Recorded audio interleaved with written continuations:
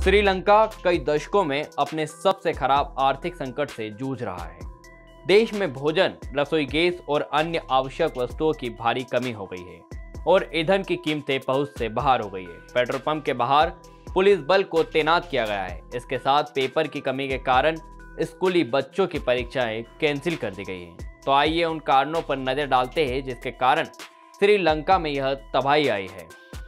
विदेशी मुद्रा की कमी का मतलब है कि देश के पास आवश्यक वस्तुओं को खरीदने के लिए पैसे नहीं है।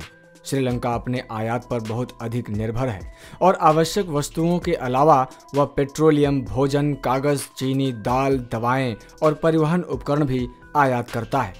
पेट्रोलियम जनरल एम्प्लॉयज़ यूनियन के अध्यक्ष अशोक रानवाला के अनुसार, श्रीलंका में स्थिति इतनी गंभीर है कि सरकार को अपनी एकमात्र ईंधन रिफाइनरी में परिचालन स्थगित करना पड़ा।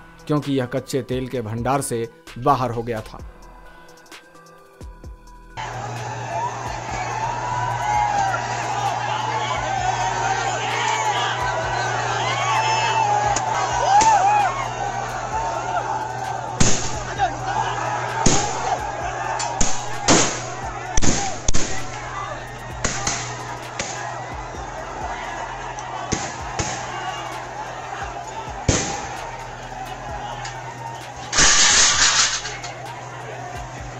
आज श्रीलंका जिस आर्थिक उथल पुथल का सामना कर रहा है, वह विदेशी मुद्रा की कमी के कारण है।